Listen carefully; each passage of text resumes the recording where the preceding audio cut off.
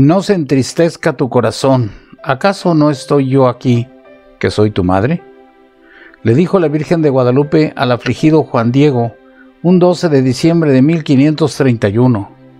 Y María se presentó como la perfecta y siempre Virgen Santa María, Madre del verdadero Dios por quien se vive.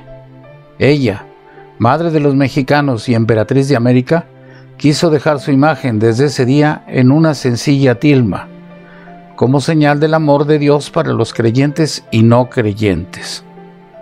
Te invitamos a que nos consagremos como comunidad a la amorosa protección de la Virgen de Guadalupe. La propia Santa María de Guadalupe en sus apariciones nos señala que quien rece con devoción y constantemente el Santo Rosario, intercederá por nuestra salvación.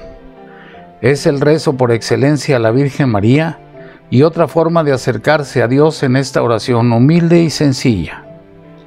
El rezo del Santo Rosario es más que solo un rezo, ya que es el modo más delicado que ella tiene para acercarnos a Dios. Iniciamos el rezo del Santo Rosario todos los días, del 1 al 12 de diciembre a las 7 de la tarde en el templo.